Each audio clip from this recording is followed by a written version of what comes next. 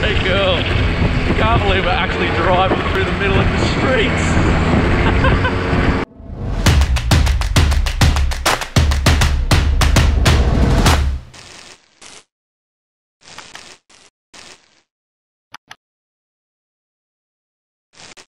Okay, have you ever played a game of Mario Kart and thought, how awesome would this be if I could do that in real life? Well, guess what, guys? Your dream can come true because they have exactly that here in Tokyo, Japan, and I'm going to do it today. Yep, that's right. Real life Mario Kart.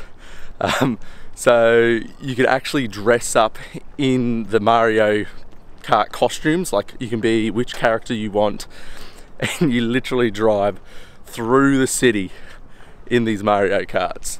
Um, I'm doing mine for two hours today. Um, I booked it online a while ago on this site called Voyagin. So this site is really good because you can get like great discounts. So I got about 37% off mine. Um, and to be eligible to do this, you need at least uh, international driver's license. So just, if you do plan to do this, make sure you got that got your ticket and you'll be good to go. But oh, this is gonna be awesome guys. So I'll see you there.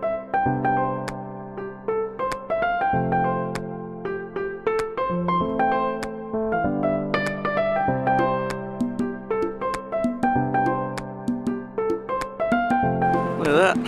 Found an Aussie cafe. Cafe Byron Bay.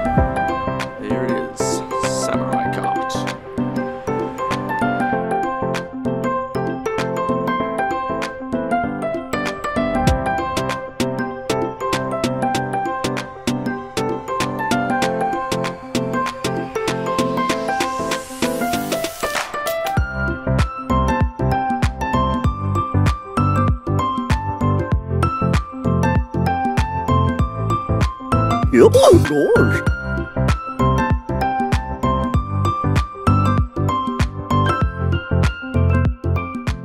So left here stop, right here gas. Stop, stop, stop, stop, stop. Very easy, normal car. So please not double push. Very slowly and not stop. Okay? So gas or brake. Next, intersection. Cornering. Cornering. Okay guys, keep to line, keep to line. Okay, keep to line, keep to line, keep to. So people walking, car driving, safety check. Okay, okay, okay. All clear. Back to one line. Okay, one line, let's go one line. Yeah, one line. Here we go. This is gonna be awesome.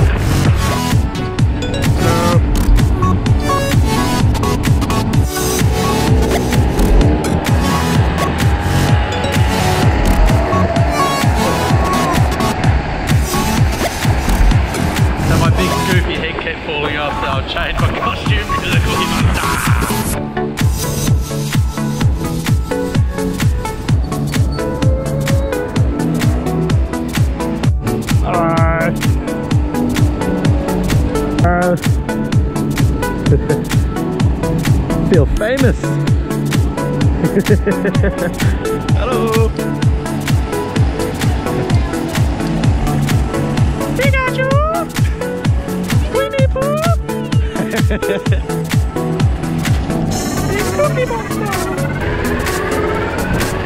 the giant carrot.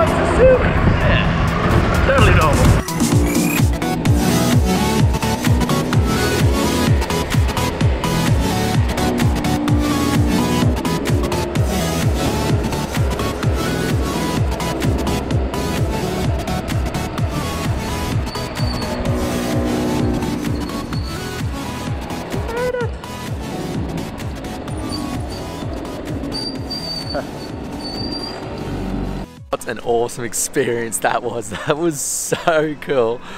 That is definitely a bucket list experience if any of you guys want to try it. Um, it wasn't actually as scary as I thought it was going to be because I just assumed there was going to be like cars everywhere and just heaps of traffic. But the um, the guide in front of us was really good. We just literally followed the tour guide the whole time, and she put her hand up, putting like one in a single line, and then she did that for side by side. So it was really easy to follow the whole time but overall it was a pretty epic experience.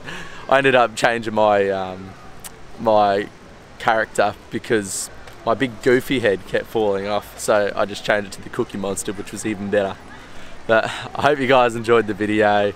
If you did, give it a thumbs up, subscribe to my channel, follow your dreams, escape your comfort zone, and the cookie monster will see you later.